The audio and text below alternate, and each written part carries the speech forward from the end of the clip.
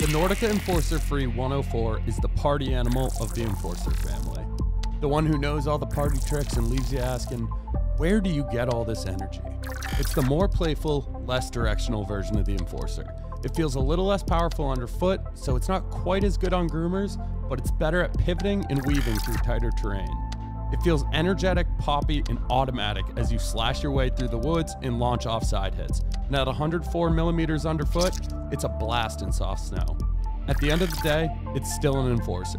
So of course it can still carve and grip on hardpack, but its home is off trail.